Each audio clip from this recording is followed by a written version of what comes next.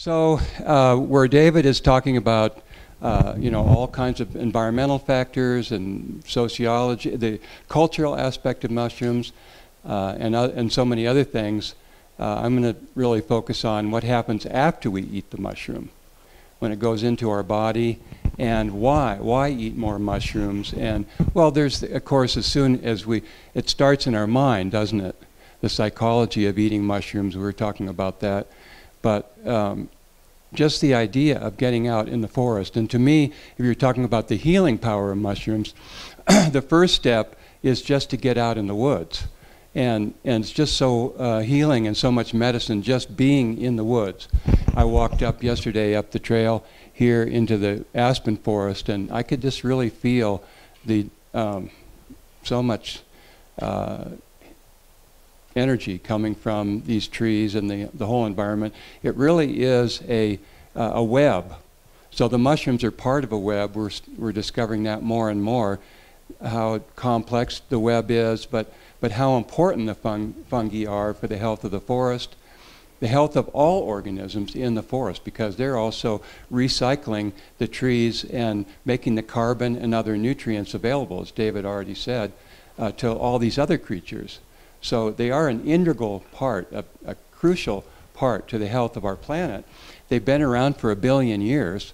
They, they used to, we used to think that they, you know, they could find fossils of fungi from 600 million years ago, then it went to 800, and now they've found uh, fungi back really deep cores. One billion years ago, there were already fungi. So they have been around not as long as the green plants, which, which uh, cyanobacteria, they found the first ones from about 3 billion years ago, even before the great oxidation event. But fungi have been around for a long, long time. And really, they're part of our, I, I just have to think that they're part of our metabolism. We are definitely breathing in fungal spores and bacteria and, and viruses. So um, the wild type bacteria and fungi and other microorganisms that we breathe in, that we eat every day. I just saw a study the other day on uh, where they were testing produce to see after you know the produce in the store, and and they did DNA um, testing on all this different types of produce and grains and other things in the store, and they found tons of bacteria on there. So there's pretty pretty complex microflora in the, in our vegetables and food, uh, and also fungi. They found quite a few fungal species in there as well. So we we do have a resident fungal uh, microbiota, and of course there's lots of bacteria as we know. And believe it or not, this really blew me away. There are literally estimated to be over 2 trillion different, uh, not different, but 2 trillion viral um, particles or viruses living in our body. 2 trillion. And where are they? We think about, well, where are all those? Well, they're all inside the, the, the bacteria.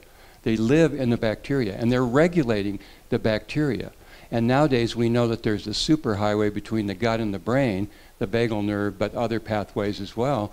And so the, the whole point, and this, this goes right into fungi, the whole point is that the, probably the most important aspect to our health that we're just now starting to really research is the diversity and complexity of our microbiota is really what informs how much health, it, you know, how um, what the role that it's going to play in reducing uh, chronic illnesses and how it's going to um, increase our, the effectiveness of our immune function to protect us against pathogens, and also our mood, regulate our mood, and probably many other functions, blood pressure and, and so forth.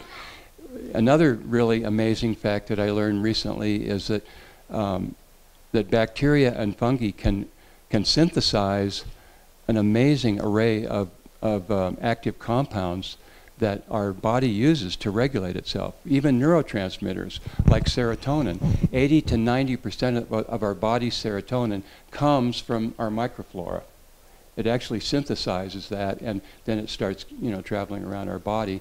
And it's one of the major neurotransmitters in our body which affects our, our appetite, our sleep, uh, and many, many other functions. So these microorganisms, the wild type that we're eating, and I have to think that if we're eating fungi, um, that you know that's part of the process getting out in, in the forest. Of course, we're cooking them, um, but they're compounds also. the compounds in mushrooms are mainly of three types, the active compounds of mushrooms. First of all, all the polymers that we find in the cell wall, such as beta glucans, which are very complex hydrocarb, carbon, or hy, hydrocarbon, sorry, carbohydrates.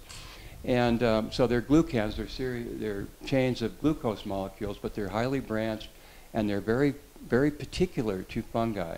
And each species of fungi can produce different types of beta glucans. Well, beta, it turns out that we have this ancient recognition system for beta glucans, and the other, a couple of the other polymers are chitin. Chitin is, a, is found in crab shells, so it's an aminoglycan that is also very complex.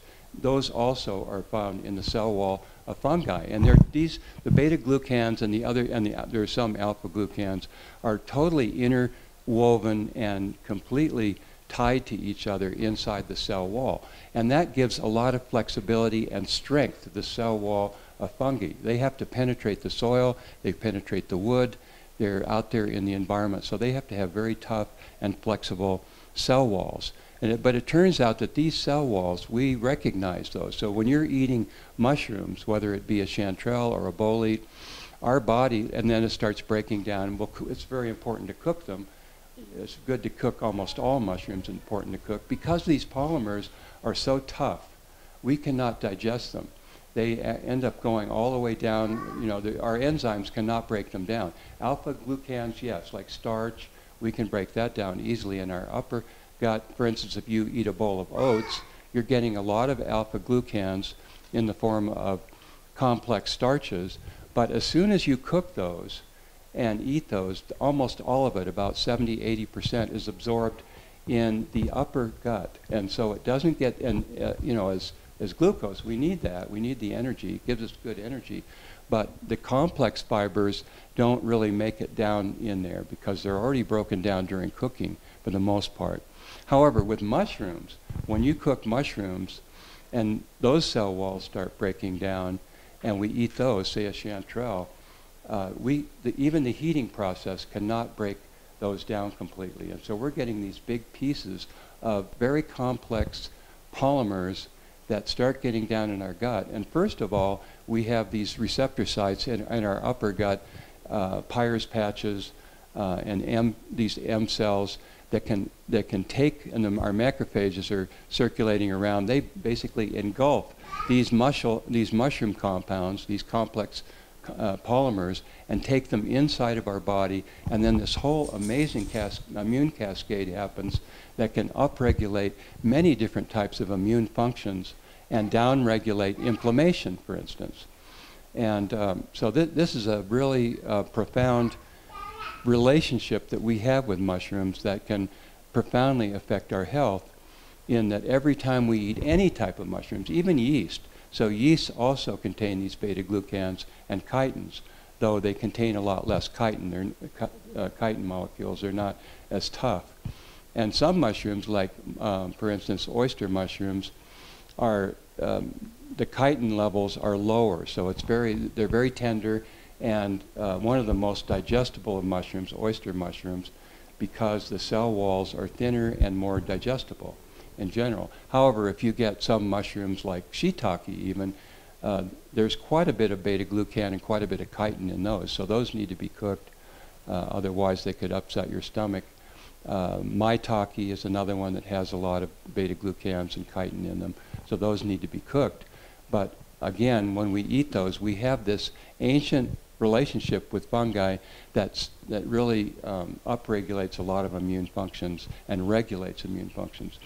For instance, our body's ability to, to produce more T cells and recognize pathogens for many, many decades sometimes, our whole lifetime, after we're exposed to coronavirus, for instance. Uh, a lot of people, you know, in the news, they always talk about um, antibodies, which, yeah, uh, we do spike up antibodies against viruses and other pathogens, but our T cells are much longer, give, give us much longer protection you may have read about that in the news, and they do talk about that. But the T cell recognition to a virus like coronavirus can last for decades. And that's why, generally, if you look at the statistics, yes, there have been a lot of infections over the early part of the summer, but tradition, but the, the um, serious illness has declined, continued to decline, and maybe a little bit of spiking up for a month there, but, and the deaths have, start, have also been pretty flat or declined. But over time, we've seen that the population is really getting used to coronavirus, and we have this long-term memory. Well, eat, ingesting mushrooms can actually upregulate our body's ability to produce more T cells and to recognize uh, more pathogens and to hold that recognition for longer. So there, there is some incredible benefit there. The other big benefit, and I'm going to go through some slides here just to, so that I don't just take off on some wild, wild place, you know, and just get carried away, um, which is also fun. But um, so um, this this ancient recognition is really um, again we get that from every mushroom we eat. Doesn't matter because because they all have those compounds. Some more than others. For instance, and this is another concept I, I want to um, want to uh, mention, and that is that when you when it comes to the um, polypores, the ones that really have a high level of beta glucan and chitin that are very very tough, like these reishis here. I mean, uh, people often say, you know, have asked me, are are these edible? And and turkey tail, I think there's a turkey tail here. Turkey tail is also when it dries, it's very tough, obviously. So turkey tail has the highest level of beta glucan of any mushroom. It's up around 55% or even 60% beta glucan in turkey tail. And turkey tail has more clinical studies than any other mushroom demonstrating that it can upregulate our immune system against cancer, different types of cancer, usually GI cancer.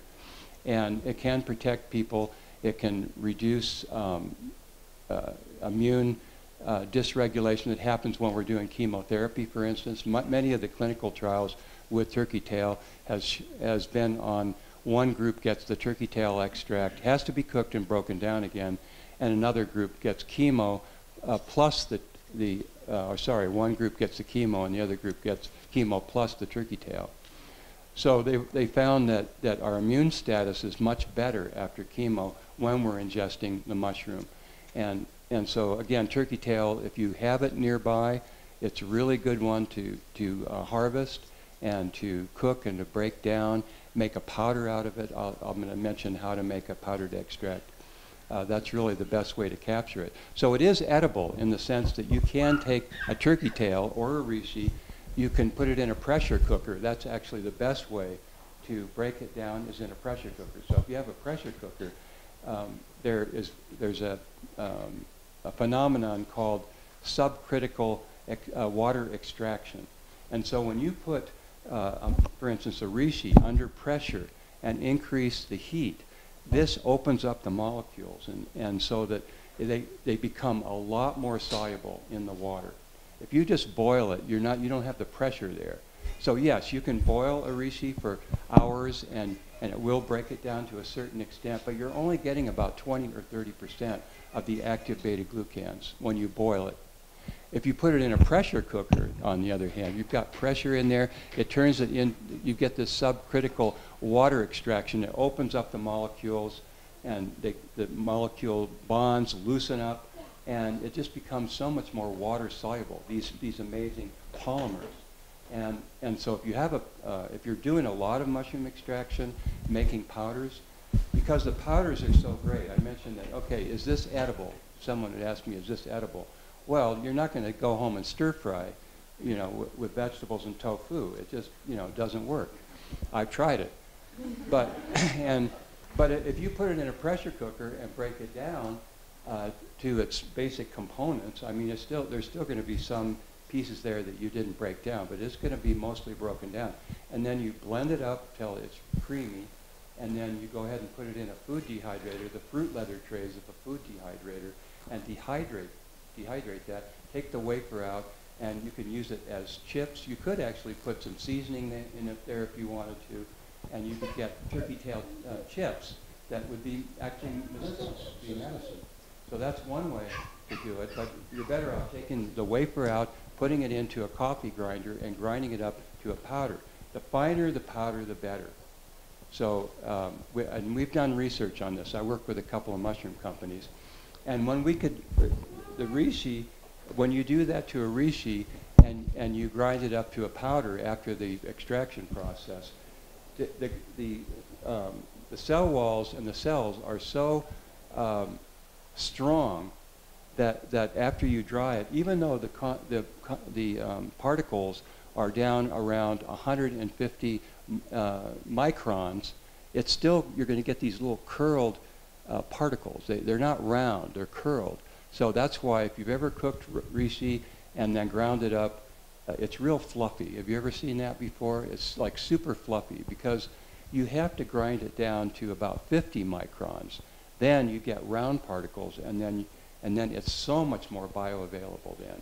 So that's what I take every day. Uh, I, I, I, use, I take matcha, green, green tea matcha, and I put a good helping of that reishi micro powder in there, and that stuff has really kept me healthy. I, I feel the difference. It, I mean, reishi has got so many benefits, which I'll go into a little bit later. But uh, the last thing I wanted to say about um, that process is that I was talking about our microflora and how important it is now, and how many. I love the way David talks about. Now he always, he brings in, you know, he's got stories which are really great because that's how we learn. He's got stories, he's got lots of examples, he's got lots of experience. I love that part of it. But he also cites the literature, so I, I really like that that he's citing the literature and and uh, to support what he's saying. Remember that. Uh, have you ever, you know, our conscience? We have a conscience uh, that tells us right from wrong and, and really the, the, things to go for and so forth. But do you ever break down the word conscious? Con science means with science. And science doesn't, you know, have to be a cult. Science is really just looking at the system that you're working with deeply, looking at the system, making hypotheses about how that system works, do, exper- you know, do experimentation like David was talking about in the forest uh, they're doing science out there. That's, so that, and that's a good thing. There's a lot of anti-science sentiment that you can find out there in, in the population, I think. But science really is something that we can bring to the table that is a process by which we can, we can really increase our chances to get to, harvest, to, to harness this wonderful medicine uh, in a good way and make sure it's safe and effective. But the last thing I wanted to say about that is that um, recent science has shown that uh, we need complex fibers to so that our microflora can become more diverse and more complex. And that's what really leads to heightened uh, health, more stable mood, and many other health benefits. And, and there's just tons of research coming out now about that. But uh, it turns out that, you know, what are the best fiber sources out there? I mentioned oats. Oats are fantastic fiber, except for one thing. All oats are, are pre-cooked. So even if you buy oat groats or any type of oat out there and you think, oh, I'm going to cook it, or if you grind it up to a powder, I'm going to eat it raw. No, it's not raw. It's already been cooked. Every oat out there on the market has already been pre-cooked. However, you can get raw oat. Try to sprout it. If you get oat groats or you know whole oat kernels and you try to sprout it, they won't sprout. They've already been cooked. So that breaks down those complex fibers. And when we eat the oat, we're not getting the full benefit. It isn't drawing uh, as much, isn't regulating our cholesterol and as well, and it also is not feeding the microflora because a lot of it's absorbed in our upper gut. But what they found is, so I, I get a raw, I get an oat from an organic farmer uh, that's that's definitely raw. I've sprouted it and it sprouts, and then grind that up pretty much every day, and then I have some oats. I put water on it, soak it overnight. This is the Swiss way. This is the traditional Swiss way of muesli, of taking the raw oats that you can sprout, putting fruit and nuts in there, soaking it overnight. It becomes really creamy, and then you eat that in the morning. And so that's a very traditional health health way of, of you know having a breakfast. And, uh, and that, that way you're going to get the maximum amount of fiber down in your microflora. But the two other foods that are the highest in fiber that really feed the, and increase the diversity of our microflora is number one, beans and legumes. Legumes are a fantastic source of complex fibers and probably among the highest types of food. Many traditional cultures that live long, healthy lives, like in Greece and other places, blue zones have a high legume diet. That's, that's one of the main things that they're eating. And, um, and so guess what the top type of fiber is that is, that is you know, not only highest in fiber, some, some of the individual ones, well, you don't have to guess, you know what I'm coming to. Uh, turkey tail is like 50 to 60 percent soluble and insoluble fiber, but it's very complex and it does not get digested in the upper gut. It goes down, some of it does, does get digested. Obviously the terpenes, phenolics, the vitamins and the minerals, if we break it down and cook it well, grind it up, make a powder, put that in our food, put a tablespoon of uh, turkey tail um, powder, this powdered tea. I tell how to do that step by step in my throat. So making these powders, this is very traditional in China and other places. That's how they, they capture the medicine and the nutrition. Remember, the turkey tail also has vitamins, minerals. It's loaded with minerals. Turkey tail has lots of minerals, has protein. The whole range of, of nutrition is in the turkey tail and the reishi as well. But you have to break it down, obviously, to, to be able to absorb that. But the, the other fibers that are resistant to cooking and so forth do get down and they feed our microflora. So there has been a couple of recent studies that show that mushroom fiber, eating mushrooms, can really increase the complexity and diversity of our microflora and regulate our mood. The first study I've ever seen showing that, that eating mushrooms can regulate our mood based on this, this mechanism that I'm talking about now. So let's see, can you change the slide? Down arrow, yeah. My book is available. Next slide. Uh, kingdom fungi, uh, fungi used to be lumped in with the plants. Do you remember that back? You know, if you're old enough to remember, you know, that, that we used to put, say that, that fungi were, were part of kingdom, uh, the plant kingdom, which obviously isn't true. There's so, so many differences. But it turns out doing the genetic, uh, turns out doing the genetics, uh, fungi are more share more common ancestors with animals than they do with plants. So, and there, there's, you know, some interesting things about that. Uh, so here are five fantastic fungal facts. One is that they've been around for a long, long time. We've been interacting with them for over a billion years. Animals have been interacting with them for over a billion years. So that's pretty remarkable. Um, again, uh, they, uh, on the other thing is that, do you know about endophytes? Endophytes are fun fungi, single cell fungi, or you know, and or sometimes they produce mycelial in mycelium in the leaves of all plants, pretty much all plants, pines, conifers, uh, any type of plant you might imagine, has a, a, a microbiota um, actually inside. Not only we know that fungi interact with the with the you know the roots, and that this is a complex system uh, if you, and if you haven't read Entangled Life by Merlin Sheldrake, that's a great read that really discusses that. Um, but we know that, but, but you know, we don't think so much about that inside the plant there's also a complex microflora. There's, there's also a complex microbiota which is interacting with the chemistry of the leaves and the chemistry of the plant and, and helping with nutrition, protecting the leaves against uh, bacterial invasion, uh, for instance. Uh, and it turns out that, that uh, and I, we don't have time to explore this, but what's really interesting is that some medicinal plants, like yew is a good example, and the taxol in yew, at first uh, they discovered uh, taxol, which is this complex compound that has a super strong anti-cancer effect. I don't know if you remember this, but, but anyway, Taxol is still used as an anti-cancer drug, as a chemotherapeutic drug.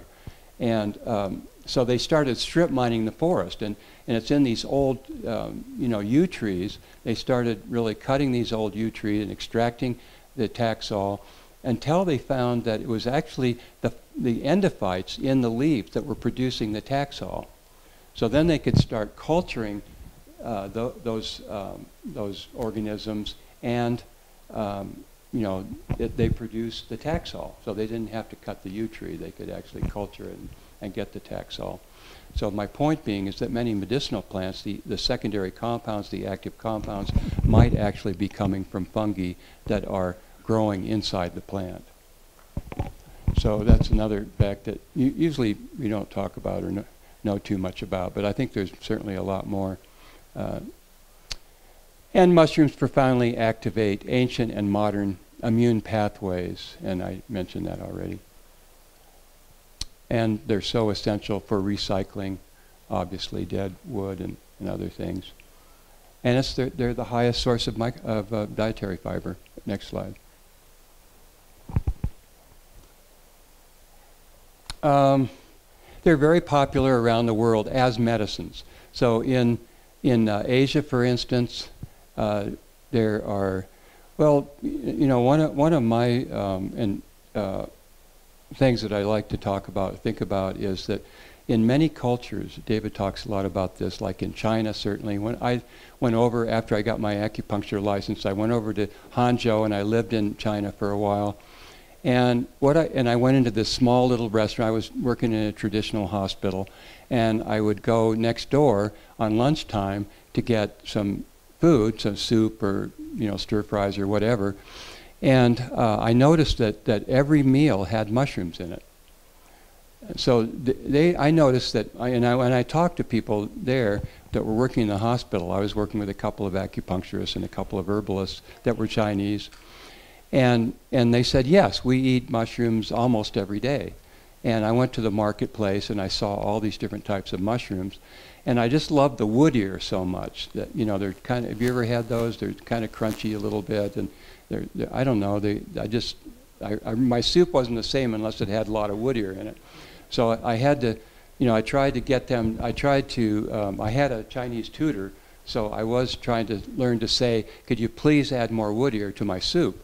And but I but you know they just look at me blankly. I practice and practice because of the tones. I never could get the tones right. So finally, my teacher wrote out in Chinese, "Please add more, more um, wood ear." And so I just showed it to them, and they go, "Okay," and then they load up the wood ear in the soup. But but my point being is that some cultures are using are eating mushrooms and incorporating them into, our, into their diet as a major portion of their diet are certainly a, a considerable amount of, of their diet. And now, you know, in our country, David's making this point, is that, uh, you know, it, it's just, and, and, it's really amazing to see the rise of so many growers and, and cultivators and companies selling mushroom products. And there's so much more available. And you can go to the store and you can find, well, in Santa Cruz, I can go to the store and I can find, you know, uh, maitake and, and e even even lion's mane and, and two or three, four, even wood ear. And, uh, but, you know, if you go into a lot of places in the country, you still can only find button mushrooms. They don't even have shiitake. So it's, we still have a long way to go, obviously, to, to get into the same area as a culture, um, a, a fungophilic culture that really loves mushroom and has a long history with mushrooms.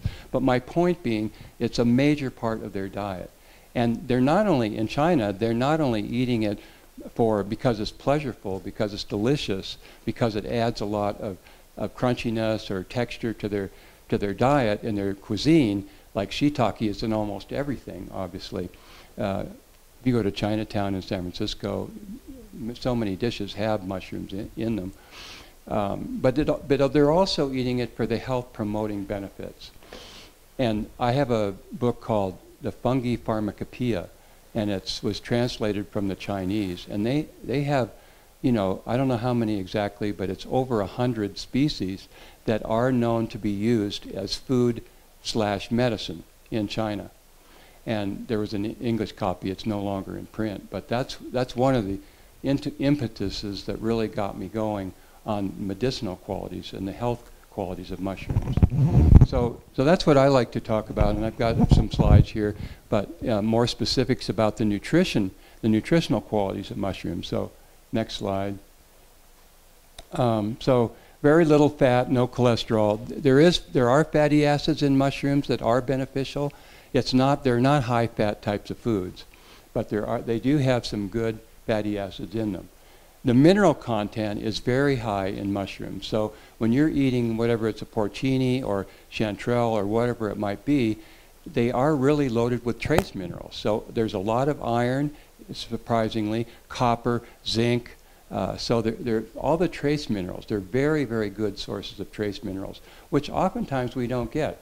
If we're buying produce that has been commercially produced and, it, and, and uh, you know, they pump a lot of nitrogen on it, whether it be chard or whether it be any type of vegetable, root vegetables even, the, the plant is growing so fast. And, and of course, they, the producers, especially corporate farms, want, want to turn, turn that crop around quickly uh, and make a higher profit. But there isn't the time for the roots to go down in the soil and break down, um, you know, using different enzymes and absorbing those minerals. That takes longer, like iron and copper and zinc from the soil.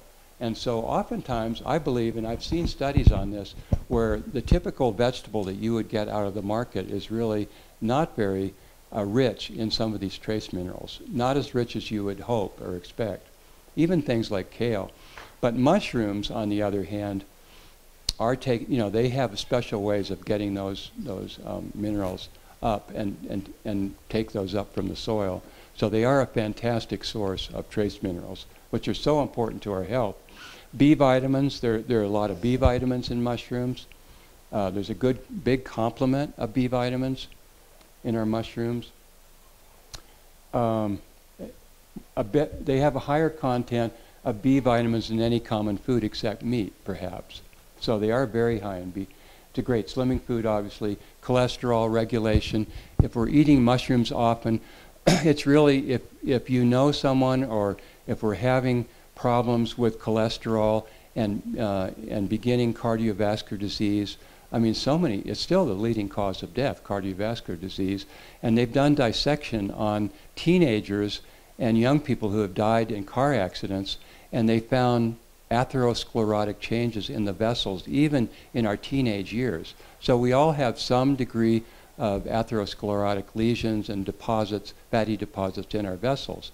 But I would argue that mushrooms are really one of the very best ways to slow that process, to reverse that process, because not only of the incredibly high fiber content, uh, that's very important uh, for cholesterol regulation, but also, uh, for instance, shiitake has some, some specific compounds that we know can help lower cholesterol and regulate our cholesterol. Um, and again, high in fiber. Next slide, please. Um, and the protein, the, the amount of protein in mushrooms is just so phenomenal. When I first started looking at the nutritional aspects of mushrooms years ago, I was really blown away to find out that, that mushrooms, some mushrooms really uh, rival uh, animal products and meat as, as for the amount of protein, but also the bioavailability and the completeness of the protein. You probably know that that some of the amino acids that make up the proteins in our diet, we have to have those because our body can't synthesize those. Those are essential. Uh, so, amino acids. And it turns out that mushrooms contain a full complement of amino acids, and they're very bioavailable. Uh, bioavailable and the, so the accessibility of, of the protein is very, very high in mushrooms. And some mushrooms, like different species of Pleurotus, can have up to 25 or even 30% usable protein.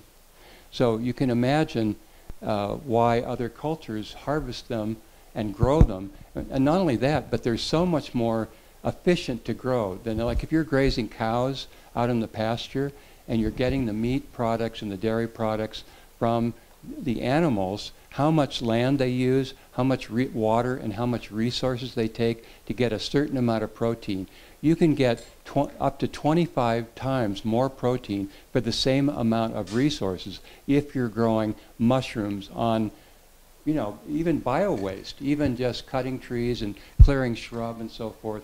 So uh, you can see why it's so popular around the world to eat, and so necessary in their diet to eat mushrooms uh, because they, they are such a complete food. And in many ways. And, but protein, uh, you know, I was really surprised to see how, how great, how high quality the protein is in mushrooms. So my point being is that considering all of the whole nutritional package that you're getting with mushrooms and fungi and eating them regularly, it's a fantastic way to transition from a mostly animal-based diet to a whole foods plant-based diet. And one of the best health books I ever read was the China study, where there's a new edition of it out now. And he's got decades of research showing that many chronic illnesses, cardiovascular disease, diabetes, and many others, chronic liver disease, are, are really um, going to be a whole lot less, like half or even more, less than half if you are eating mostly a plant-based, whole foods plant-based diet versus a highly a high meat diet.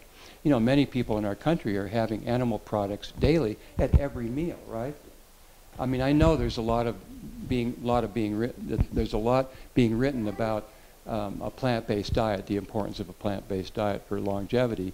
Uh, that's true. There is a lot being written about that now, but that's because there's so much more emerging research. The, the most recent dietary research shows that the, probably the healthiest diet that we can have uh, is a high carb, complex carbohydrate diet, moderate protein, moderate fat. Uh, and that is that people live longer and have less chronic illnesses when we have a high complex carbohydrate diet and having moderate protein, moderate fat. And having said that, obviously, anytime you refine the carbohydrate, that changes the whole story. Then that is not true. So that's, you know, unfortunately, if you go into the stores, that's a great deal of what we're eating as far as carbohydrates go. So bottom line is that, you know, I'm just trying to um, really point out how powerful mushrooms are in, in our diet, not only for just the wonder of getting out in the forest and collecting them, and, and as David points out so much, the, the association of others, the community that we create, the mushroom loving community together is so great. And so I'm just so happy to be here with everybody and, and enjoy our community while we're here. Uh, and that is so important. That's such a big part of our health is sharing things like that with others. That, uh, and so I'm really appreciated, appreciating this conference and being here. Um, so next slide, please. Uh, so the, the medicine that we can, let's go on to more specific, the actual phenolics and the medicine that we can extract from mushrooms, and they certainly do have a lot. And they've been, like reishi, you can read the Pen Tsao, you can read some of these old Chinese herb books, because mushrooms, some of the mushrooms are considered herbs in Chinese medicine and other, other uh, traditional cultures, especially Chinese medicine. And if you look back on some of the, of the ancient texts, the ancient medicine or herb books, there are mushrooms that are included in there, such as reishi, of course. Wood ear uh, and other species are mentioned as medicine in the very, very ancient books going back 2,000 years ago. And in the Western herbal tradition, uh, we have Dioscorides, which was the most famous ancient herbalist of all time. Dioscorides was the um, was the physician to Nero's army, and he traveled all over the known world um, when Nero's forces were out there, whatever they were doing, conquering and, and whatever. And uh, he saw, you know, he, he treated people with herbal medicine. And his, when, then when he came back, he wrote it all down in Dioscorides' De Materia Medica, which is the most famous herbal of all time, published in about the first century Common Era uh, that's that's you know 900 over nine, uh, 1900 years ago. So, so this is a very ancient book, and it was still one of the main medicine books in in all in many different cultures up until about the 1700s. So this was a very influential book. Uh, they mention about five or six different mushrooms in that book that were used in ancient times. People were very fearful of mushrooms in those days because they only used a very few because uh, you know using phalloides or, or other lethal mushrooms was a was a very um, efficient way and covert way of, of poisoning their rivals. So did you ever watch I Claudius that that series that was on PBS? Uh, you know, the, uh, just about every episode they were talking about doing away with their nephew who was going to going to um, ascend to the throne and so forth. So, so because they're, they're tasteless, they don't have any taste and, and, and they're absolutely lethal. And it was not only that, but it was a very, not a pleasant way to go either. Yeah. So, so this, you know, that's, I think that's probably why they didn't have too many mushrooms that were mentioned in, in ancient Greece because of that. But, but they did use a few, like wood ear was, was well known to them and some others. Okay, next slide, please. Um, so, yeah, I'm going to skip through some of these uh, and just mention, uh, just kind of summarize it. All mushrooms have beta glucans, 1316 D beta glucans. These are the polymers that are mainly found in, in all mushroom cell walls and that we've really worked out world in labs around the world how they affect our immune system. And it's profound. It really, we do get a full, wide-ranging upregulation of a lot of aspects of our immune system against pathogens, for instance, or cancer cells or disease cells, whatever. Um, it, and, and we know exactly what receptor sites are active, like toll right, toll-like receptors, dectin, so we've really worked out the mechanisms. Next slide, please. Uh, there, this is kind of a cross section of the um, of the cell wall here. Glycoproteins on the outside. These the fungus use uh, to kind of sense their their environment and to interact with other types of organisms. So these glycoproteins are basically they're, they're sensors for the environment. And then you get mannoproteins to kind of give a softness, I guess, to the outer portion of the cell wall. This is just the cross section of the cell wall. Then inside here is the cytoplasm, which contains all the organelles like the nucleus and mitochondria and so forth. Um, and terpenes and, and phenolics are the other main compounds that are inside the cell wall. But all the, the immunomodulating compounds are found in the cell wall. So here's the beta glucans. Again, they're, they're highly branched. Uh, here's the chitin here, uh, another glycoprotein, and, and these are intimately inter, interacting here, interconnected. Uh, that's why these, the, the beta glucans, the active compounds, are not well absorbed. If you take a reishi like this and cut it up and boil it for two or three hours and then drink the tea, you're only going to be getting around 15 to 20 percent of the beta glucans, of the immunomodulating compounds. 15 to 20 percent because they're just not water soluble. However, if you you know if you put them in a pressure cooker and break it down, blend it up, put it in a food dehydrator, get a fruit leather mushroom, uh, mushroom leather uh, wafer, grind it up to a fine powder. You can get grinders that will grind it down to 150 microns. That's a pretty fine powder. And then store that in jars. You can put that in your food. You can put it in soups. You can sprinkle it into stir fries. And turkey tail actually has a really nice mushroomy flavor, believe it or not. And again, you're getting the nutrition and the immunomodulating compounds. So uh, if you've got a big source of turkey tail, like in Santa Cruz a couple years ago, we found like 10 logs that were just covered with turkey tails from one end to the other. Thousands of fruiting bodies. And, and you know, I didn't, I didn't take them all, but I took a good, good number of fruiting bodies and uh, and you know went through the process, made a powder, and then and then it's really has a nice flavor. It really reminds me of my mother's cream of mushroom soup, and so I enjoy eating it. Kind of brings me back, but also I know all the incredible benefits I'm getting by adding a teaspoon of the mushroom powder, reishi or turkey tail or, or others into my cu cuisine. It adds a flavor. Uh, it adds all of this incredible medicine in there too. Um, so anyway, the, that's the cell wall. Next slide, please. Here's, a, here's the uh, space. It's a very complex molecule, as you can see here. Next slide. Um, yeah, I'm not going to go into all, but it does, it does, here's one here, it, it upregulates cells like monocytes, macrophages, dendritic cells, which are really immune regulating cells in, the, in our body, natural killer cells to go after pathogens, neutrophils to engulf pathogens, T cells, and B cells. And T memory cells are long term memory of pathogens.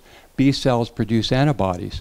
So all of this is going to get upregulated to a large extent. And if you're using the powders regularly, that isn't, that isn't, or eating mushrooms regularly, uh, you, you, can see why many traditional cultures, I know I've said this before, but many traditional cultures have gravitated towards mushrooms as a major part of their cuisine, not only because of their flavor and, and that they just enjoy them, but because I, I would argue it's because they noticed that people were healthy, healthier when they ate them, that they lived longer when they ate them, and they were providing incredible nutrition.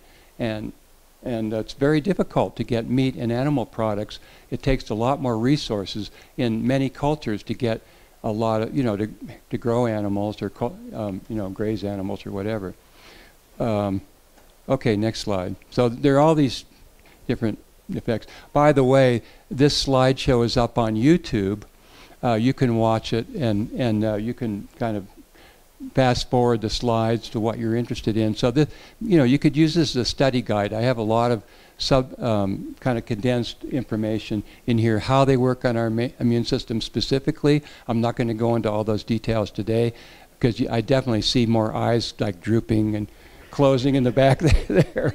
But it is, I find it fascinating personally, but, but you know, I'm a geek, so, so you can't, well, admittedly so.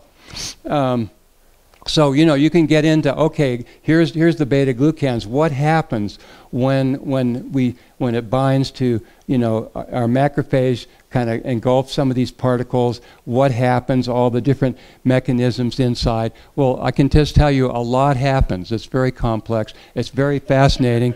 But i'm not going to go in but i do go into more detail in my book. But and, and i have articles on you know on, on this on my website christopherhobbs.com um, you can follow me on Instagram. I'm doing a bunch of reels every day, every day or every other day uh, on herbs and on mushrooms.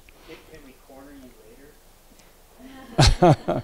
yeah, if you have specific questions, feel free. i am here, so I'll be out in the woods hopefully. Next slide. so here's more of the same. But it does affect both of our innate immune system, our the immediate response we have to pathogens, and it also affects our adaptive immune response, our long-term. Uh, and, and so by, in, by using these, by eating these, ingesting these frequently, you know, our whole immune system is more um, alert.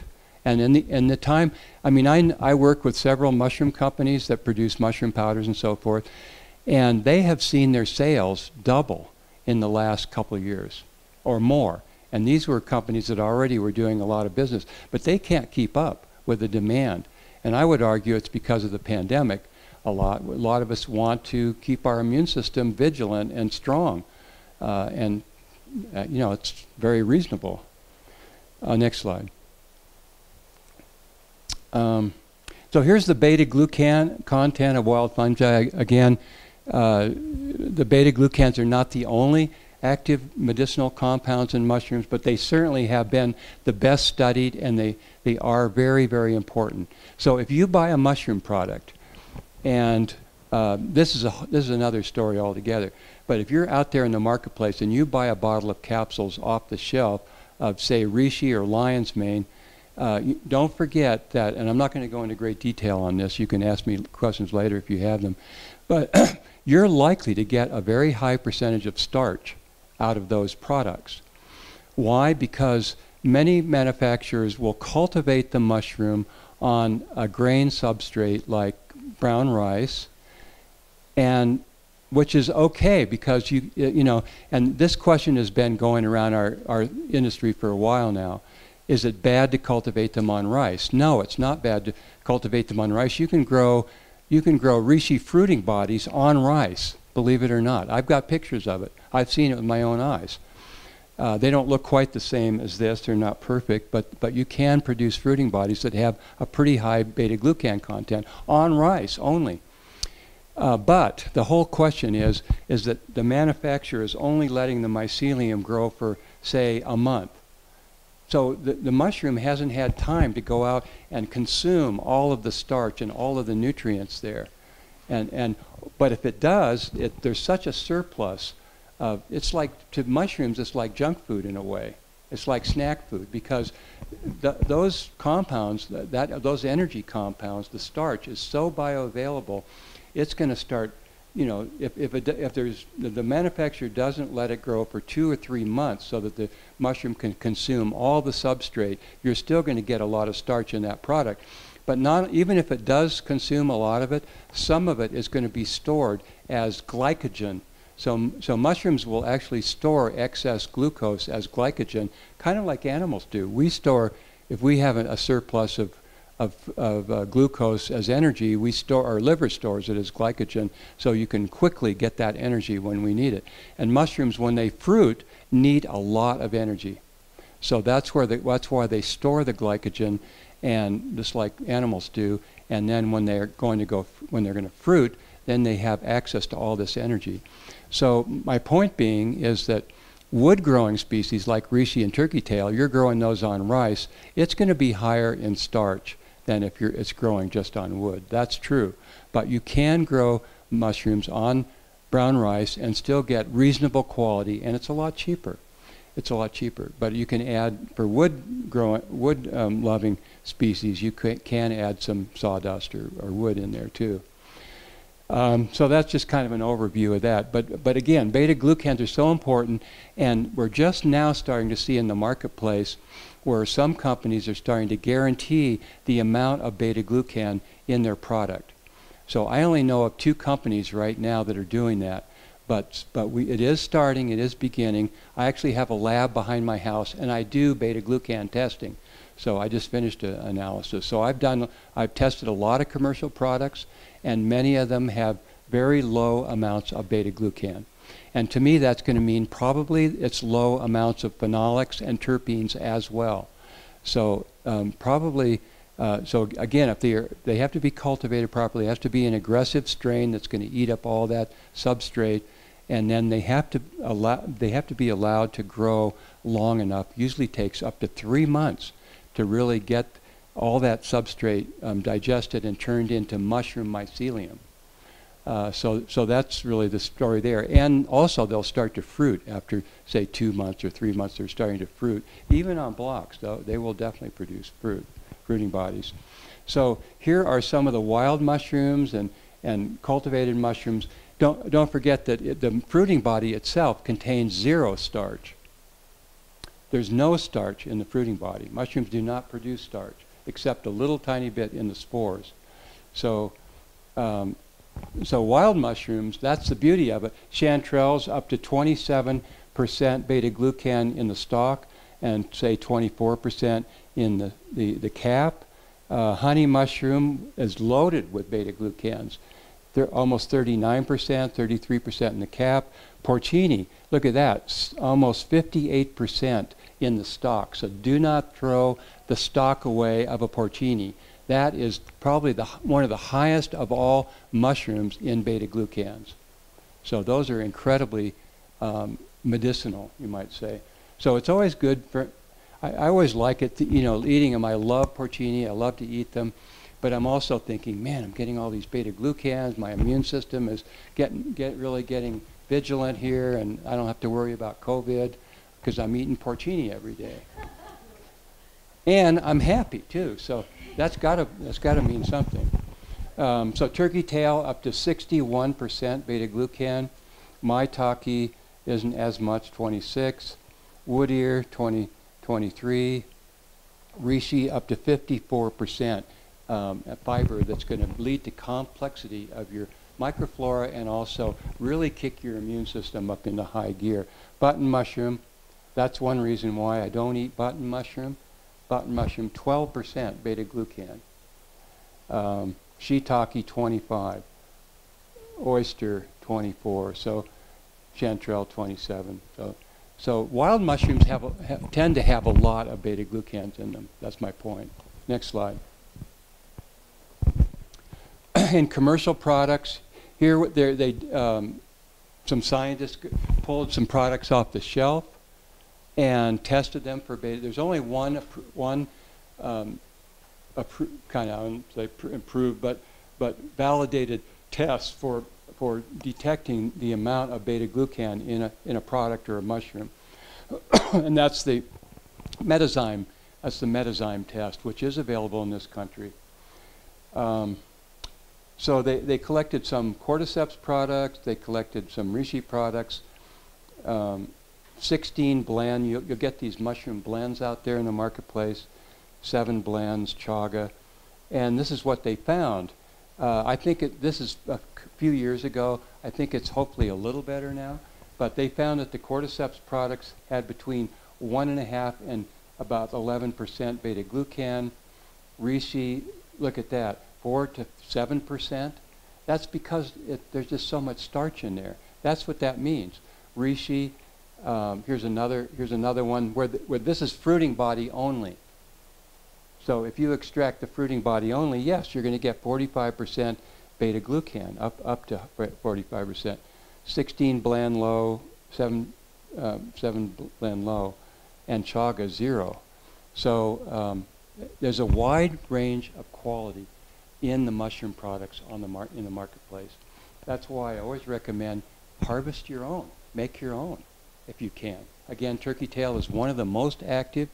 Reishi, uh, I pick, you know, if you go on the East Coast, if you're, uh, I don't know if Ganoderma grows up here in applanatum, yeah. Yeah, so, so that's fine. That has tons of beta glucan in it. But uh, in California, we have a couple of different species, and, and uh, I, lo I love going up to the wild old hemlock forest in the, up in the high Sierra, and you can find these giant reishi-like like fruiting bodies, and and that's fun to make medicine with. In the East Coast and in the Midwest, there are a number of species that I call reishi-like mushrooms because they're they're Ganoderma with annual fruiting bodies that chem that the chemistry is you know probably very similar between species.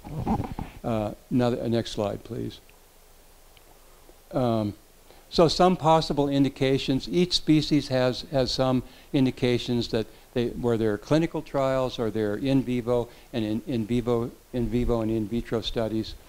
Uh, so, and some are by tradition. For instance, cordyceps uh, is a cultural treasure in Asia, and you may know that it's a, it's a. I've got slides later, but it's a, you know, it's a, it's a caterpillar that lives in the soil for three years, and then uh, the weaker ones are infected by different fungal spores and the, the, um, the mycelium starts uh, growing inside the caterpillar, it changes its brain chemistry so the caterpillar comes up to the, to the surface and then uh, it fruit, it, the fruiting body comes up above the surface and then the spores go out from there.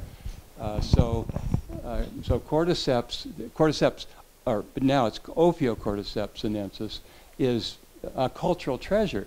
And like for instance, if you are a businessman and you're, you're giving somebody a present, one of your co colleagues, you might give them a package with a, a, ribbon on it, and they open it up, and inside of these these caterpillars with with you know mushroom fruiting bodies coming out of their head, and and they get all excited. so I mean, what would it be like in this? I always fantasize. What would it be like if you gave you know one one of your family members some cordyceps, and they open it up, and you know what's this? so, so anyway, this, this is a cultural treasure. It's been used and written about for probably a couple thousand years for increasing performance, not only sexual performance, but, but sports performance, vitality, uh, and, and also for, for counteracting fatigue, and as a an adaptogen to help counteract stress or keep us keep stress from affecting us adversely. However, when you look at the clinical trials, when you look at the science, there's really not much. There really is not much. So, um, and and not only that, but but uh, doing the genetic work, I'm trained in in genetic analysis, phylogenetics, and uh, I did I got a lot of cordyceps products from from all over the place, online, from India, China, this is a big project I did with a, with a chemical lab down in, in, in the southern states, Mississippi. And, and I, you know, I, I used next-gen sequencing and, and Sanger sequencing. And what I found was that almost, you, you cannot find in general, you know, ordinary products unless they are from China and you're actually buy the worm or, or the caterpillar and the fruiting body, then you're going to get Ophiocordyceps sinensis. But otherwise, no, none of them were Ophiocordyceps sinensis. They were all other species, like Tolypocladium inflatum was very common, uh, or it was um, Cordyceps militaris.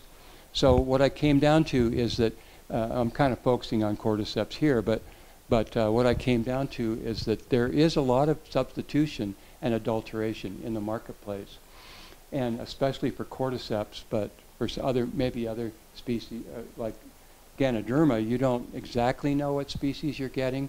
Uh, usually there are no guarantees, except I've done I've tested some of the products out there, and typically in this country, people are cultivating Ganoderma lingzhi, which we think is the ancient reishi.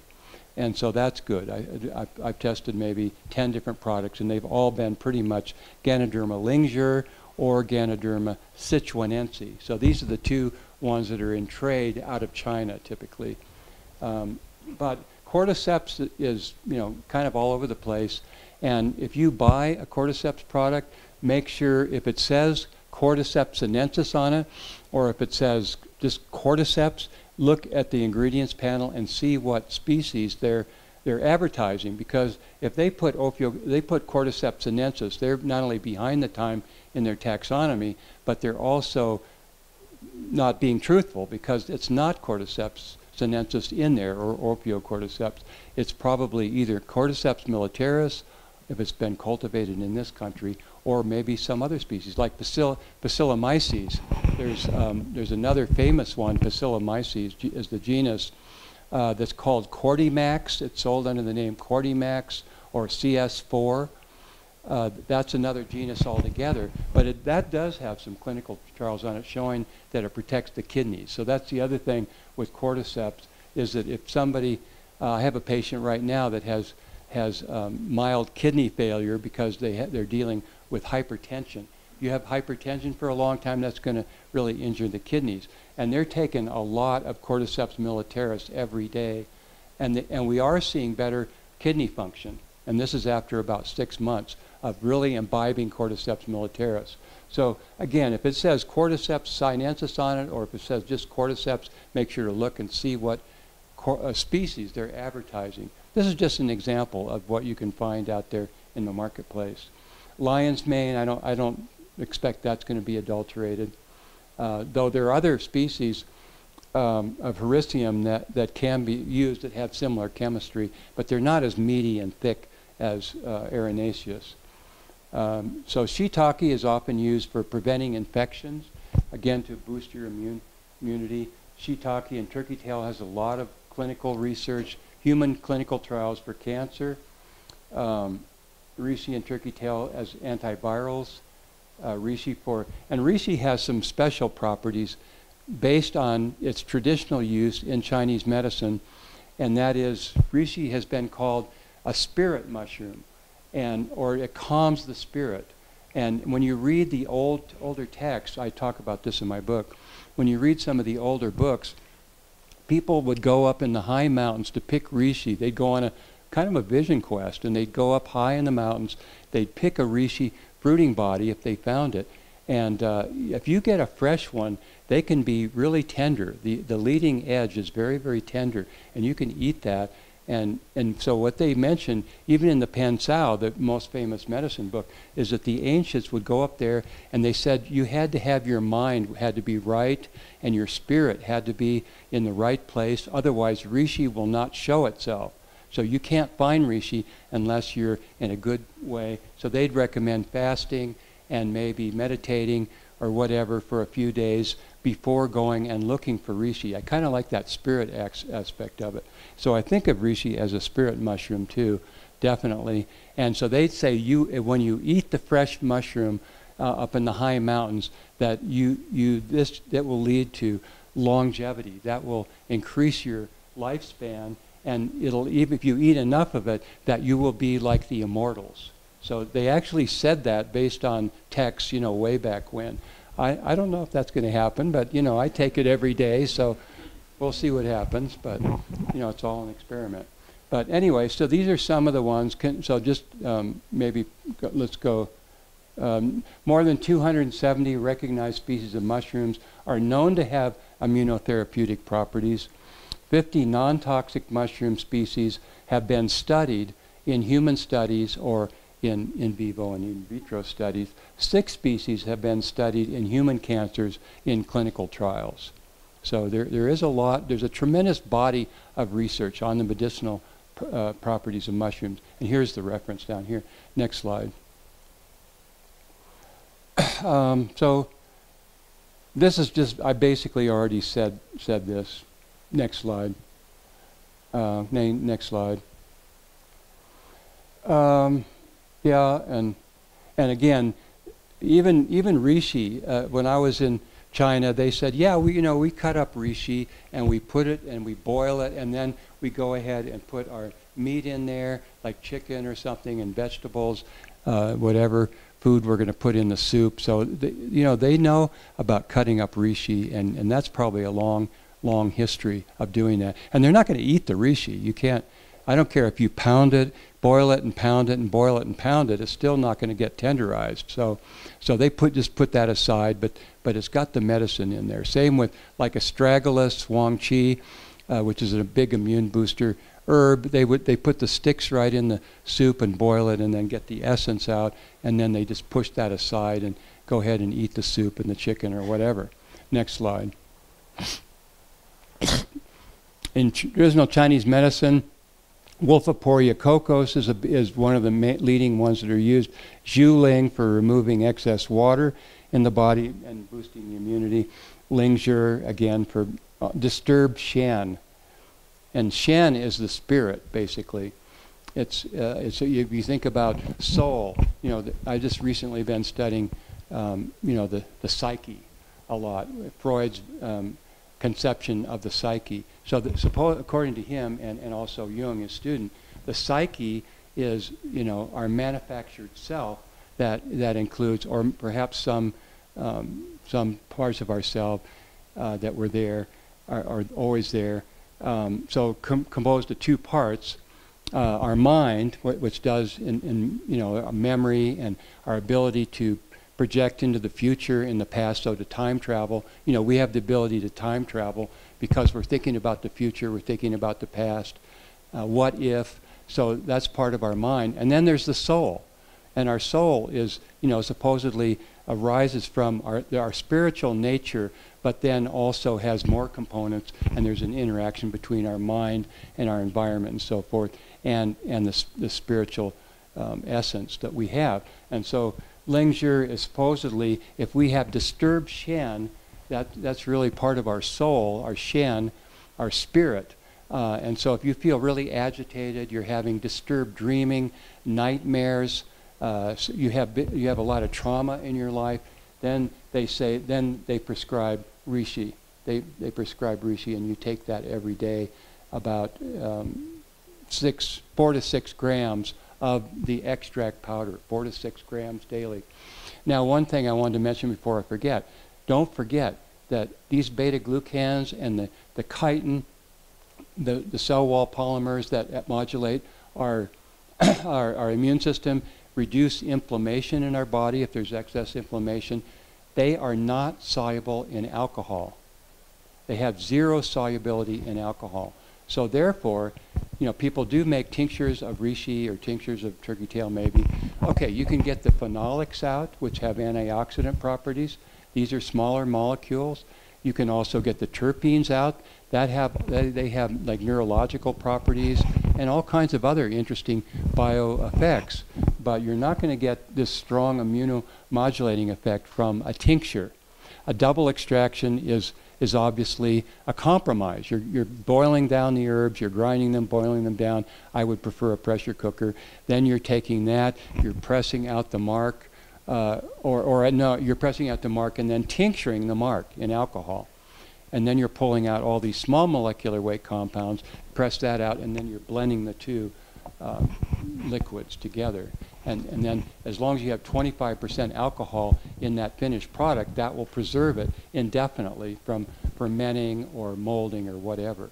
So that's a double extraction. I talk about how to do that in my book. Uh, so that's that's pretty popular, and I think that's a good compromise if you want a liquid, the convenience of a liquid, for instance. Next slide. Um, okay, most clinically relevant. we have kind of mentioned those. Uh, next slide. Uh, turkey tail is, um, you know, it's, it's ubiquitous. I've seen it everywhere I've been, for sure. So it is pretty ubiquitous, and it's the it's the number one studied mushroom for immunomodulation and uh, for use in a cancer treatment program uh, based on Chinese research and Japanese clinical trials. So there are many clinical trials that you can access, uh, and, and, they've made a couple of drugs out of them, uh, PSK and PSP. If you go, if you want to look up some of this research, just go on Google Scholar or, Google, or, um, or PubMed.gov. Those are the two major databases for searching the scientific literature. And uh, PubMed is the world's largest medical database. It's free for searching, and our tax dollars pay for it. So go on to PubMed, type in PSK, or you know, or PSP. PSK has more research, and and PSK is basically just a concentrated extract of turkey tail mycelium. That's all it is in a liquid culture. So they're not growing it on grain. It has no starch in it. It's a liquid culture. They spin all the liquid off, take that pure mycelium, and they extract it. Uh, and get all, and so it's got very high beta glucan content, and that's where almost all the clinical trials were performed with, with PSK, which is just a crude extract of turkey tail, pure mycelium.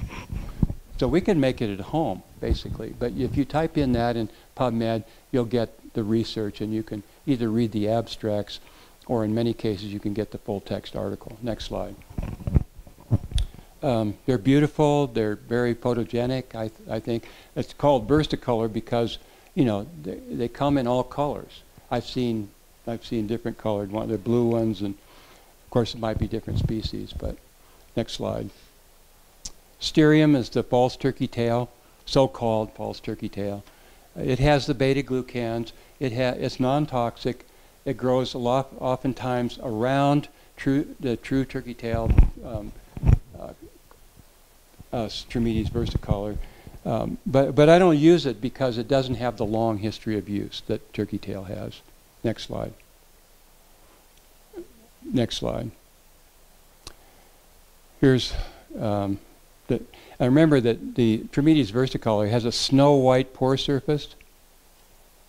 They look very similar this is the underside of the stereum.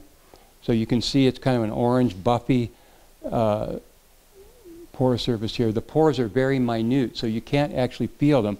With Trametes, you can actually, there's a texture underneath. It doesn't mark when you scratch it, doesn't really mark it, but, but it has a texture, it has tiny pores there, and it's usually snow white until they start aging and then they darken up. Next slide again, many, um, if you look at the clinical trials, the number of clinical trials, stomach cancer 21, colorectal 9, esophageal and so forth. So uh, if you add up all the people that have been in these clinical trials, and, and there are more than this now, this was, this was just summarized from this one article, um, but there's, there are probably uh, in these clinical trials cancer taking mushroom extracts to see that it can reduce nausea from chemo, it can reduce uh, fatigue from our hair falling out. So it really does give our strengthen our immune system when the mushroom extract is taken with chemotherapy. Unfortunately, I would love to see a, a study where it's, it's just mushroom extract versus chemotherapy. A, a mushroom extract in a good diet versus versus chemotherapy in a standard diet. I would love to see a, te- a and, and frankly, I think th this arm over here would do better. I mean, that's my bias, but but I tend to believe that uh, based on what I've seen. Uh, but anyway, I mean, it makes perfect sense. I mean, if you take if you're taking chemotherapy, that is a huge hit. It may kill some cancer cells, but it's a huge hit on your immune system. I mean, it's going to trash your your uh, immune stem cells, and and you're going to get neutropenia, and your immune system is not going to be respond is not going to be able to respond to the cancer as well. So it, it really is, to me, it's, it's irrational to even use chemotherapy. Personally, I think that's, that's true. Uh, but it's certainly more rational if you're going to use chemotherapy to take a lot of, of this mushroom medicine, high beta glucan. It makes a lot of sense. And, and that's what the, the clinical trials show, that it really can help uh, counteract the side effects of the chemo and keep our immune system strong during the chemo. Next slide. Uh, next slide. Let's go on to beautiful, beautiful uh, shiitake. So wonderful. Pretty easy to grow. By the way, you can grow shiitake on straw, but it doesn't produce as many fruiting bodies, and probably the beta glucan content is lower. Uh, but it's faster. You can get faster fruiting bodies than if you grow it on wood. Next slide. Um, yeah, antiviral, hepato. Many of these mushrooms are hepatoprotective. There are plenty of studies showing that it protects your kidneys and internal organs your, and your liver. Uh, can help pre prevent uh, ulcers. Some of these mushrooms, like shiitake, for instance, extracts, or just eating them every day. You know, what's what's the amount of fruiting by? People always ask me, well, if I don't want the byproduct, can I just eat shiitake every day? And certainly, you know, well, what's the dose? Okay, take, you know, I mean, I could I can eat 20 shiitake fruiting bodies. I've done it. If they're grilled with a nice sauce on it, oh my God, they're just they're Im, they're just irresistible, uh, to me anyway. So I've overeaten uh, on them a number of times. So, but how many do you eat for good immune effects? Probably two or three fruiting bodies per day is plenty. You're getting a lot of uh, beta glucans. Um, so, there, and, and cholesterol regulating. Shiitake is very good at cholesterol regulation. Next, next slide. Uh, okay, C clinical trials. Next slide. I, I, I, pretty much talked about that. Reishi. Reishi has so many interesting uh, traditional. Uh, next slide. Uh, cultural has so many interesting cultural aspects to it. Uh, it's been part of the culture for so long. Uh, millions of people, people still use it there. You, if you go into a Chinese herb shop, which I do frequently, just to see what they've got going.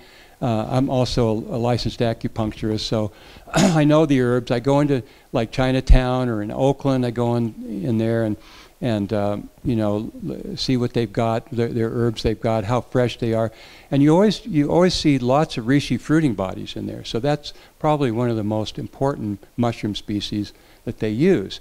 But if you go into a Chinese herb shop and look at the quality, I mean, so many times I've gone into a Chinese herb shop, and there's li they're literally full of uh, fly larvae, and, and and they just you know, some of them you pick them up and there's just nothing there. They're all hollow inside, like David was reading about.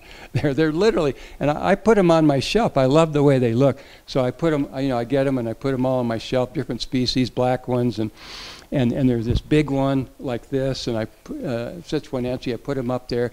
You know, a few months later, I'm looking at them and and I'm noticing that there are a few little flies flying around, and I pick one up, and you know, there's just nothing there it's, it's like it's it's like the outer outer skin. That's it. That's all that was there, and the rest of it, you pick it up and this powder falls down. So they, you know they really. So if you want to preserve them for a while, I recommend freezing them for like a, two or three days. Put them in the freezer for several days, if you're going to store them. And that's what I have to do. And I start seeing, I, I just put them all in the freezer for a few days, and then then they'll last for another few months. And I don't know how they get reinfected, but but typically they're always eating. I've always had some mushroom flies in my office. Next slide. Well, I'm okay with that. Next slide. There are different. Oh, back back to this one.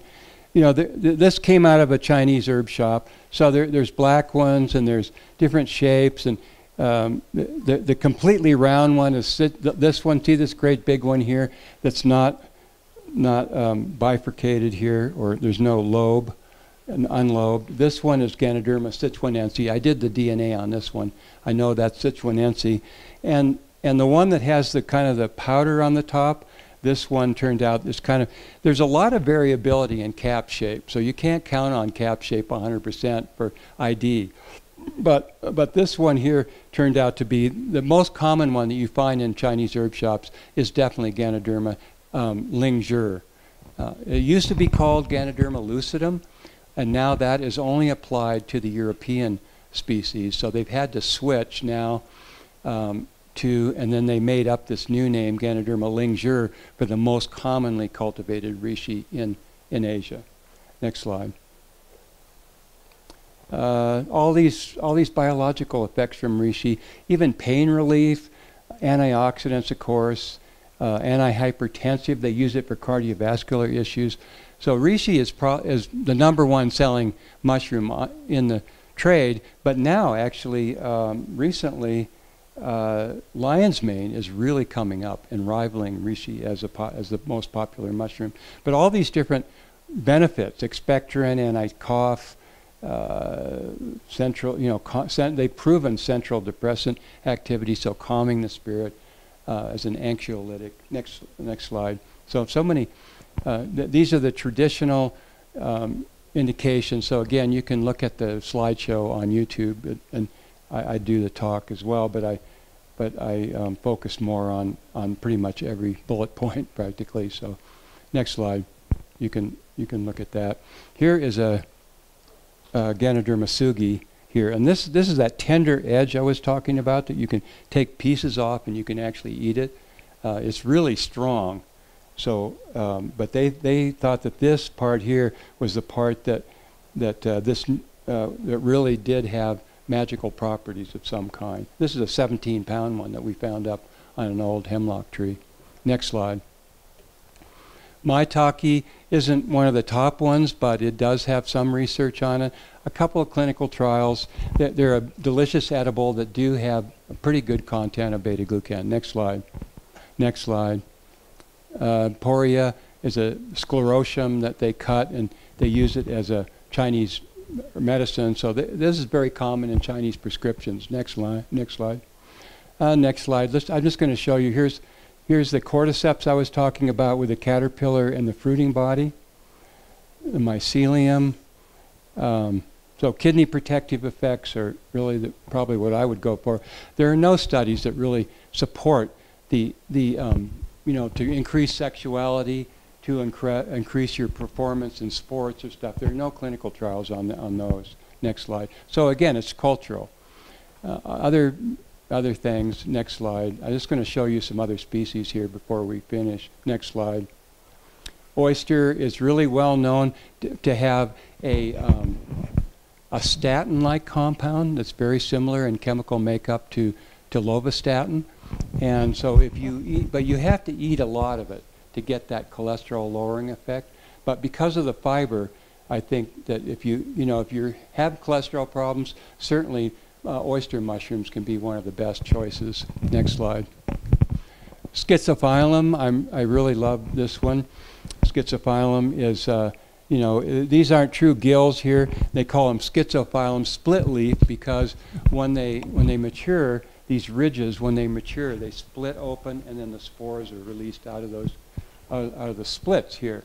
And this grows in California. I don't know if it grows here or not, but in the Rockies, but we have quite a bit of it. I've seen some logs covered with it around Davis. Uh, and, and they actually cultivate it in Indonesia, and it's an important food source. And in India, China, Asia, parts of Asia, and, and they make loaves out of it. It's very, it's kind of meaty tasting and uma, umami flavored, and, and so they call it tiny oyster too. So you can pound it with fish sauce, and you can make all kinds of dishes out of it. And, and um, uh, I like it. I like the flavor of it. it. And when it's young and tender, it is quite nice. You can get dried fruiting bodies on eBay. You can buy big bags of, of dried uh, split gill on eBay and soak them overnight. Use the soak water or pour it off. Maybe maybe there's some pesticides and herbicides in there you want to get rid of. You know, pour it off. You don't know where it was grown or where it's coming from. But uh, that's one big disadvantage of schizophyllum because, frankly, buying herbs from a Chinese herb shop, buying mushroom, dried mushrooms from a Chinese herb shop is, let's face it, it's, it's a bit, uh, there, there's some unknowns there, let's put it that way. How was it grown? Where was it grown? Um, it, did it take up any heavy metals and so forth? Next slide. Here's the dish. They call it, they call it uh, jamur griget, and it's a, considered a delicacy. It's got a meaty texture with earthy and pleasant aromas. I've made it. It's good. Next slide. Next slide. It's one of the ones that have really been studied for its anti-tumor, anti-cancer effects. Honey mushroom is a, that's another really interesting um, mushroom that, that is Chinese medicine. It's used for its anti-hypertensive effects, for for its um, anti epileptic effects. So for ticks, for epilepsy, convulsions, this is one of the main medicines that they use. Next slide. And, and other things. So it is considered an important medicine. Next slide. And it turns out that there's a Chinese herb called Gastrodia, which is an orchid. And here is the tuber of the orchid. And so they cut, they cultivate these. They couldn't cultivate it for a long time. These are really expensive. And this is the main Chinese herb that's used for convulsions, epilepsy. If you have an epilepsy form, you go to a Chinese uh, herbalist, they're going to give you a formula with, with Gastrodia in it.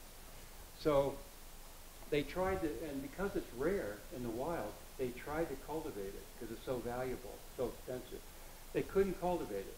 Then they found that it would only grow in the presence of Armillaria mellea. So it's only going to grow when the mushroom is around. so then, uh, then they start cultivating.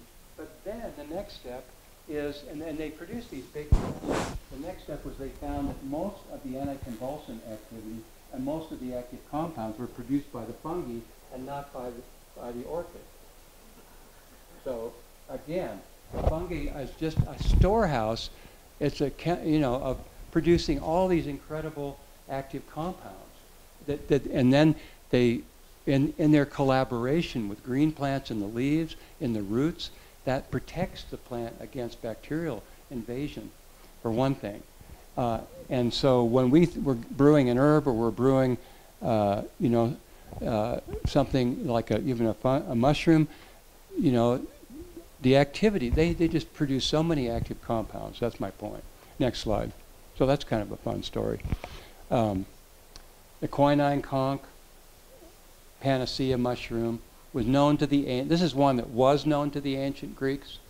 It was in the pharmacopoeia, uh, pharmacopoeias, it was in Dioscorides, it was in the um, pharmacy shops, drug shops, for about 1,600 years. An extract of this mushroom was in, was in, the, in the pharmacies. Like, if, like in the 1600s, you go into the pharmacy shop and there'd be an old-time pharmacist there with all these bottles of herb extracts and mushroom, they would have, foam, they would have, uh, this is Laricifomes now, I guess, uh, they would have quinine conch in there. Uh, it's a very unique uh, mushroom. If you've ever taken a piece of it and, and sucked on it or chewed on it, you can really taste bitter, you can taste sweet, salty, and it's a little bit acrid. So it's, it's like a five flavors herb that they use in Chinese medicine. So it is an amazing medicine. Unfortunately, it's, it's rather difficult to access. That's the main problem with it. So it does have an incredible, it has the longest history of any medicinal mushroom in Western cultures. Next slide. And it was used, it was shot off with rifles, the big fruiting bodies. They grow on maybe old growth. Uh, and I know only, I've only seen one fruiting body in, in, uh, in Santa Cruz in the whole time I lived there. Uh, on an old growth Doug fir where, there was a lightning strike or something or a, a damage up high up in the in the trunk, and there was this old, uh, old, you know, conch growing up, growing up there that was very, very old, many years old. So they're not, they're hard to find. That's the problem. But in the old days, in the like early 20th century, they would shoot them off with rifles up high, and they would extract that and make a tincture, and that and was supposed to be good for malaria. So it was used as a quinine substitute. Next slide. Chaga, another really fascinating mushroom you know, it, it's a classic mushroom fruiting body from um, all over, you know, the northern hemisphere, pretty much. I mean, it grows up. You go high enough, even on the west coast of Canada, it's growing up there. In Alaska, it's growing up there, all the way to the east coast, all throughout Europe. So it grows up high, uh, you know, very north uh, on a lot of it. I know they do grow on other trees, but they grow on birch and especially around Vermont where I was harvesting, they grow on yellow birch. Uh, and, and I did a lot of research for my book, so if you want to know more about chaga, the cultural, the, the, the sustainability, for it, because a lot of people are harvesting it now, uh, the bottom line is it's probably sustainable. There's so, so many millions of acres of trees up there that, that it, it does, it is actually a parasite. It attacks the weaker trees And it could take up to 80 years, though, to, before they, the tree dies. So there's some type of symbiosis going on there. That's what I'm convinced of. You know, if there's a damage to the tree, you'll see one of these sclerotium coming out and growing out of the tree. I would argue, and it's filled with betulinic acid that it extracts from the tree. Why does it do that? What, what's, what's the fitness uh, advantage? I think it protects the tree. I think it's as an anti because betulinic acid, like if you break open a chaga, it's yellow inside. That's the betulinic acid that is extracted from the tree. So my my sense of it is that the mushroom is living in, in, in some type of relationship with the tree. We know that, that they're in a lot of trees up there, but they don't kill them for up to 80 years. So they can so they're not true parasites in the sense that they just attack them and kill them. There's something else going on there. But anyway, uh, be that as it may, it, it is one of the most important anti-cancer and, can, and cancer care program remedies that are known in Scandinavia and Russia uh, and have been used for a long, long time. And I've got some stories about it in my book again. Uh, but they also use another good benefit of chaga is for gastric ulcer. They use it a lot for, as a tea for, for preventing ga gastritis stomach uh, inflammation, and also for curing uh, gastric ulcer. So this is, this is very common use in, in Russia. Next slide. Next slide. Lion's mane. Um, it's, a, it's a really delicious, wonderful to find. Uh, these other ones have a similar chemistry, but they're just not as meaty and, and solid as, as the erinaceus is. And, and they contain diterpenes. So again, all mushrooms, the, the active compounds are the cell wall components that I've discussed, phenolic compounds, which are antioxidant, anti-inflammatory, and terpenes. So all mushrooms have a wide variety of terpene compounds. Terpenes are, are simply more complex hydrocarbons with a lot of substituent groups on them, and they have all kinds of functions on our nervous system. Uh, so there are monoterpenes that are found in essential oils. Uh, those are very volatile because they're small molecules. Then there's diterpenes, which are not so volatile, and they tend to be bitter. Well, that's what the, the lion's mane contains, mainly diterpenes that are rather unique, and they have been shown in uh, laboratory and animal studies to promote nerve growth, nerve regeneration. And so that's why there's so much uh, interest in lion's mane today, I think. That's why there's so much interest, because of this unique ability to act as a nootropic or a nerve rebuilding uh, uh, type of medicine. The other one that we know a lot about, and there's increasing amount of research that is expanding all the time, is psilocybin. So my, by microdosing, it actually, there's, there's recent research that show that it can untangle tangled areas in our brain, that it can strengthen connection between the palisade cells, uh, the pyramidal cells in our cortex, uh, strengthen them and make them um, more, uh, I don't know, more like a superhighway, that the impulse can travel more, more efficiently. Uh, and, and uh, you know, so, and also to stimulate glia cells. So glia, glial cells in our brain is part of our nervous system a cleanup crew, if you will. And so it activates, it binds to those, binds to serotonin receptors and activates those to for repair and maintenance of our brain, which is, of course, quite important um, because there's a lot of damage that can happen up there, uh, free radicals and, and, uh, and because of our diet and toxicity and so forth. So, but lion's mane is, is being hotly studied. There are no clinical trials. I mean, people are taking it for okay, I'm just going to improve my memory. It's going to, if I've got Alzheimer's, it's going to reverse that. Uh, if, if I've got some nerve damage, you know, it's going to repair that. No, we have no clinical trial. We have no evidence that that can happen. But we do know that by imbibing the diterpenes in lion's mane, it can stimulate nerve growth factor and it can proliferate nerve cells to grow and, and connect together. We do know that. And, and in animals as well, but not in humans. So this is, this is a work in progress, the study on lion's mane, but it has become one of the most important. It also is very, very good again for gastritis and for any kind of stomach irritation. Uh, lion's mane and lion's mane is incredibly important and popular in Asia and China. Literally, it's one of the very, very top sellers in China is lion's mane, and people take it as a daily adaptogen, as a tonic um, to to protect this the stomach and the GI tract. Uh, so so this this literally is here now too. It's one of the most popular, but in Asia and China, this is the most important medicinal species out there besides reishi, and it's the same here now. Next slide. So you know, there's different research on it. Next slide. I'm just going to show you a couple other species here. Um, next slide. Quality control, I'm going to mention the starch test. The starch, the iodine, the iodine test has been known for a long time to be the best way to see, to detect starch, the starch molecule. The iodine, the starch molecule has spaces between the, glu the glucans, and when you put iodine in there, the iodine um, you know, molecule binds into that space, and then it and then it starts to reflect the, the blue wavelength. And so if the, if you have, uh, say, you take two capsules of lion's mane uh, product uh, that you buy from the shelf, always test it, hundred percent test it. Just get a bottle of iodine from Amazon or wherever. I use J. Crow's Lugol solution. This has been great. And so you, you take your capsules and put it in a glass or something, stir it up. It should be kind of an amber color like this. That's what you should see if there's no starch.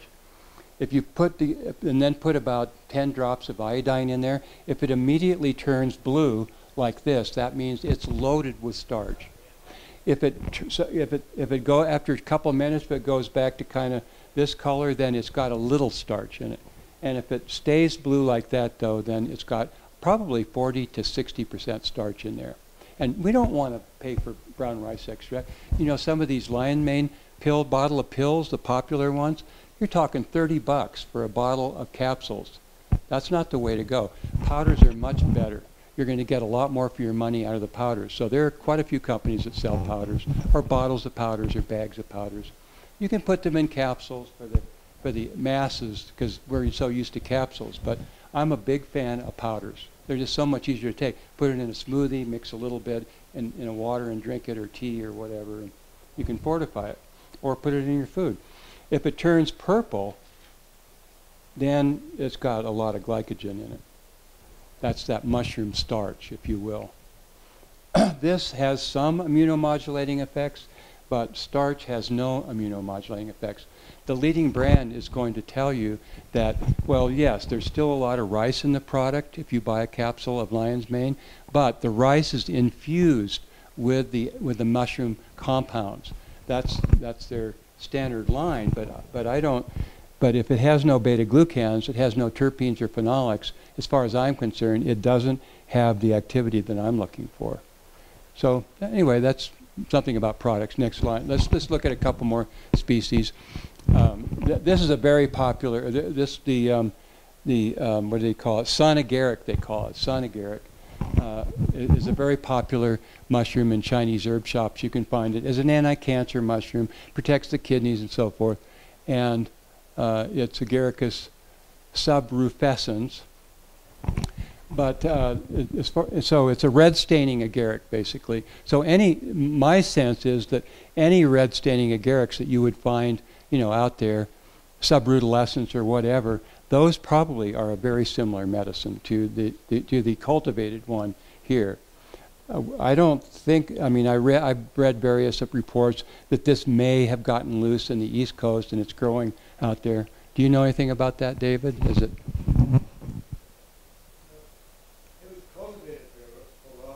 Yeah. Right, but you don't know if it got out anywhere, and could have. Anyway, any red staining agaric, in my opinion, is is pretty much the same medicine. Next slide. Corn smut, Ustilago, used to be used as a medicine because it it has a, a smooth muscle contracting ability. So it was actually a tincture of corn smut was used uh, in, in medicine in the early 1900s for um, postpartum to stop bleeding. So that's kind of interesting. Have you ever eaten corn smut? How many, how many people have eaten it? Delicious, right? It tastes kind of like a cross between corn and mushroom flavor. Uh, I went to the Midwest one time, and the you know the field. We went over to an organic field, and the stuff was just everywhere. So we gathered quite a bit of it and, and cooked it up, and with some onions and garlic, and and uh, and then made tacos out of it, and they're quite delicious. Really, I, I like it. Uh, and you know, it's a it's a delicacy in Mexico and other parts of the world. Next slide. Wood ear, one of my all-time favorites. This this I took in the Am. This picture was in the Amazon. Um, I went down there in the fall of he, fall here uh, a couple of times to Peru, out in the out in the wilds of Peru, and in the Amazon, and the logs there were just covered with wood ear from one end to the other. And then these they would cut these trees and put put them down on the ground. They're about this tall. Um, you know, so that you can walk because it would flood. It would, it would basically pour down rain almost every day. And it also it was like, you know, 90 degrees and pouring down rain every day. And so you'd walk on these rounds, and I'd look down, and there were just like so many reishi-like mushrooms growing up on every single round, and really interesting ones with very long stems and small little cap, uh, and those were wonderful to see. Uh, but but the wood ear, boy, talk about a, an abundance of food there. Next slide. Another slide of the same, same one. It's used for a lot of different things in medicine, Chinese medicine, to increase physical and mental energy, uh, slow uterine bleeding. A lot of these jelly fungi were, are known to um, lessen the uh, coagulability. So if you're prone to abnormal clotting, they, they do use it for that. Um, uh, ease abdominal pain. They used it for low back pain, debility after childbirth, muscle spasms, poor circulation, and clear, clears phlegm and benefits the lungs. So they use wood ear, dif the different kinds of wood ear. I, I described the two or three different types in my book, but th these are widely used in Chinese medicine, not only for food, but also for medicine. Next slide.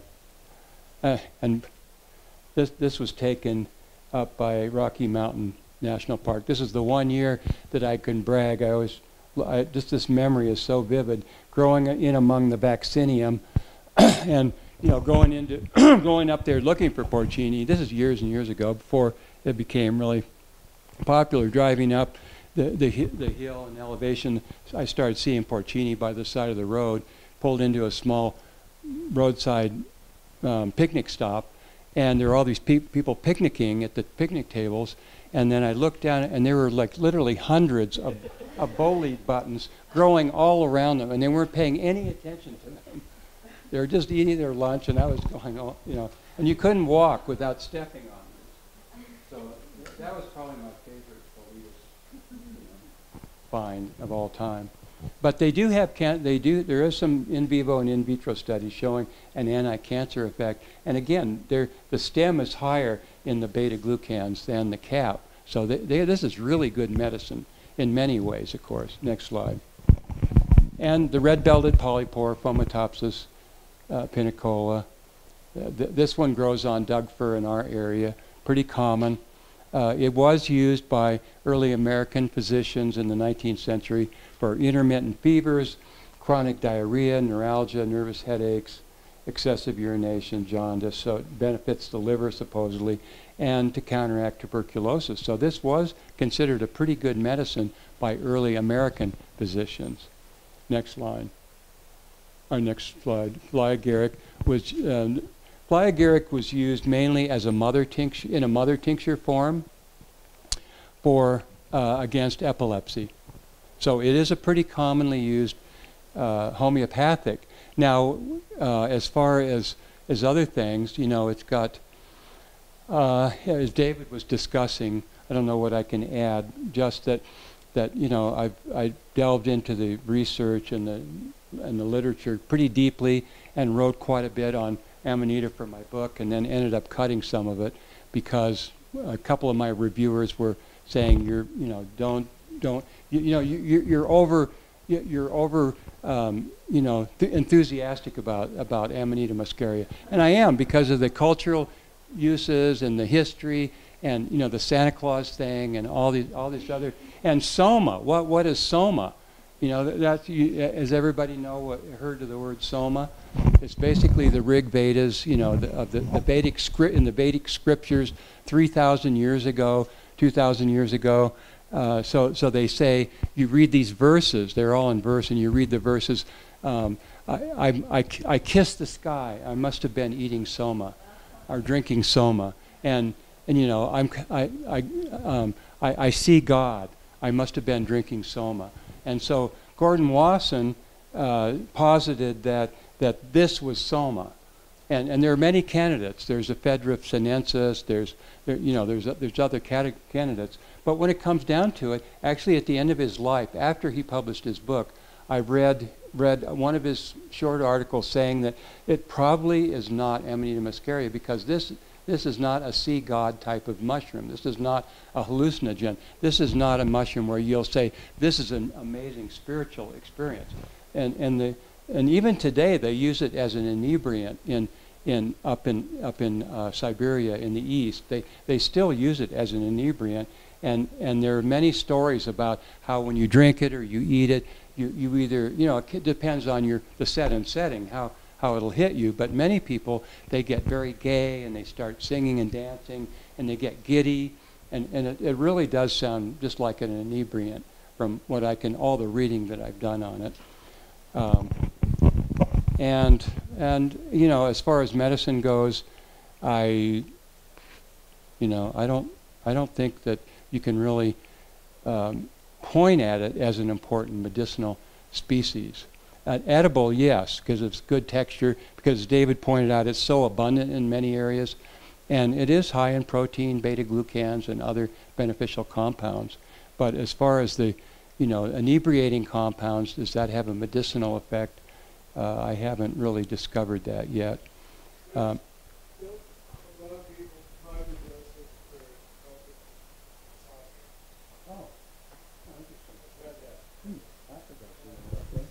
So that might be something to try. Tincture it up and microdose with it. Might be interesting. Yeah, but be careful because it does have uh, some toxic compounds in there. Okay, next slide. And there seems to be quite a, the one thing about Amanita muscaria is that um, I think that the, the amount of active compounds do vary from, from area to area probably. And so you really can't count on eating a certain amount and you're going to get the same effect every time. That's one thing about it. It's a wild mushroom, and there are many, many different um, populations of it that have genetic variation. So, and you obviously you don't want to mistake it for the death cap.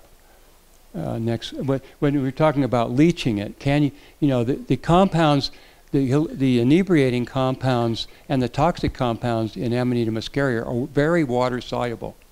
So therefore, you can leach it easily and get them out. But with the death cap, these are these are protein, these are amino acid-like compounds. These are complex proteins. Um, the um, so so you cannot leach them out. You can cook them, but they're still going to be there. What's the mechanism of action for milk thistle that you mentioned? Milk thistle is yeah. Next slide. I think is it, is it do I have yeah.